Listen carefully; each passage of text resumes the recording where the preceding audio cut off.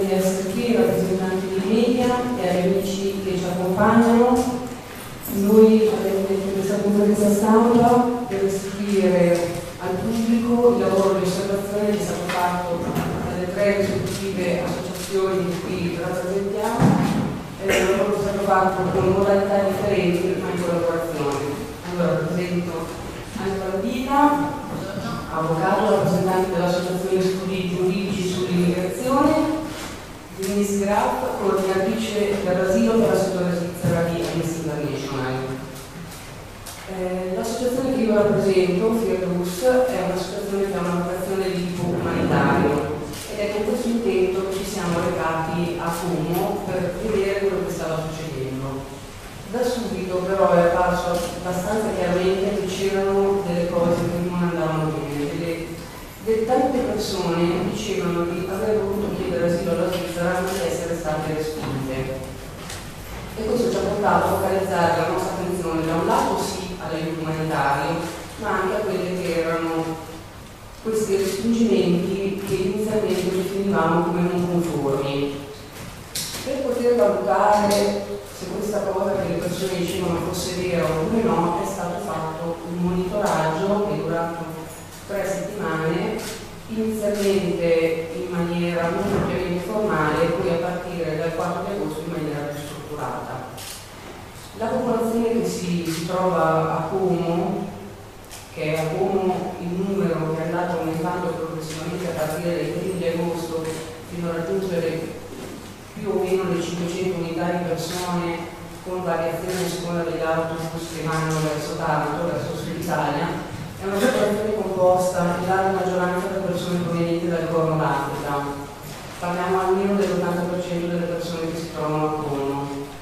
Sono persone che hanno affrontato un lunghissimo viaggio, che spesso hanno soggiornato nei campi profughi dell'Etiopia o del Sudan, hanno attraversato il deserto in condizioni davvero difficili, c'è chi ha raccontato di aver affrontato questo viaggio restando 21 giorni nel deserto del Sahara, vedendo eh, acqua allungata con benzina, questo per evitare che bevono troppo.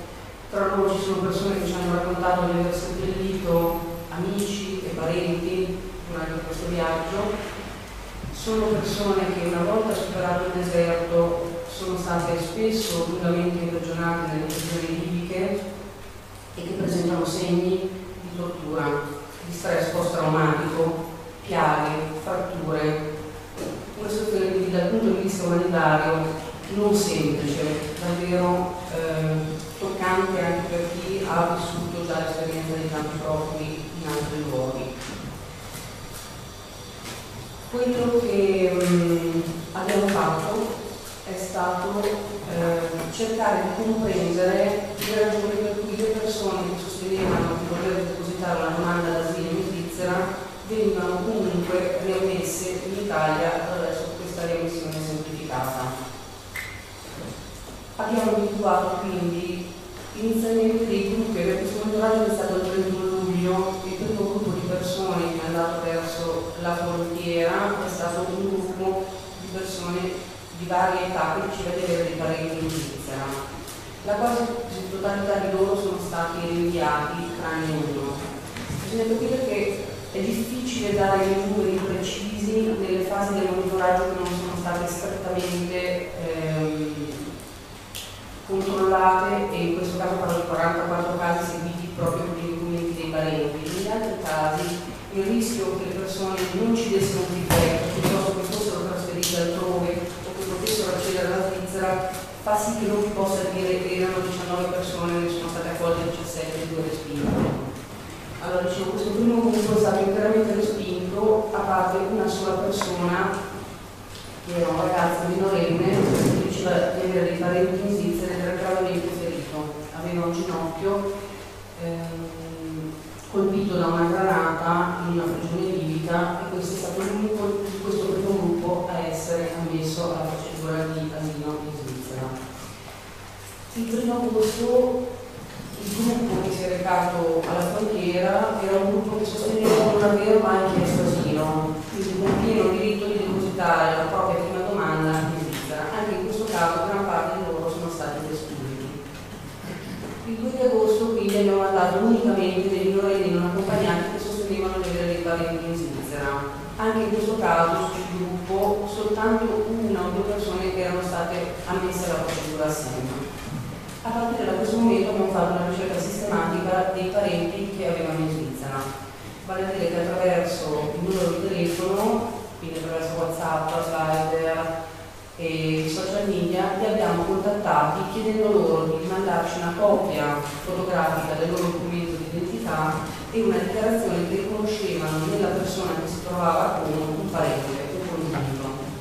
In questo modo abbiamo potuto monitorare 44 persone, di cui ehm, 26 adulti, 27 adulti con eh, due bambini a seguito e 15 minorenni non accompagnati. Una volta che queste persone producevano eh, questo tipo di documentazione, la documentazione veniva semplicemente stampata, accompagnata da un'autodichiarazione di voler chiedere asilo alla Svizzera le persone andavano verso la frontiera. Una volta che questo lavoro è iniziato abbiamo potuto, posso dirvi oggi che di, dei 27 adulti seguiti 12 adulti sono stati riammessi in Italia, di cui 3 con rifugiato dell'Alto Commissariato per i Rifugiati, perché abbiamo monitorato, oltre a quelli che avevano familiare, anche chi poteva produrre una carta di rifugiato oppure una documentazione comprovante la persecuzione. 13 adulti e 2 minori a seguito sono stati invece ammessi alla procedura SEM, di due adulti non abbiamo più notizie.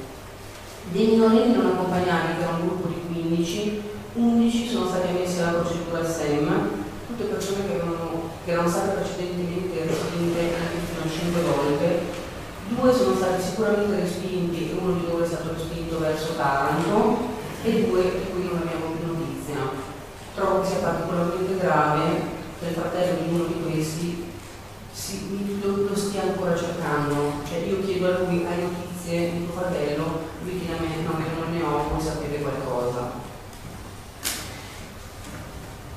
A partire da questa vulnerabilità della popolazione che abbiamo incontrato a Como e a partire appunto da questi respingimenti che ci apparivano non conformi, poiché per tutta una serie di ragioni che adesso Anna vi spiegherà, il diritto d'asilo deve essere garantito a chi chiede protezione internazionale, credo che su questa tipologia di persone non vi siano dubbi, è iniziata una collaborazione da prima con ANSI e poi con eh, Amnesty International che appunto a loro volta hanno fatto un monitoraggio con modalità differenti dei quali adesso vi daranno eh, resoconto.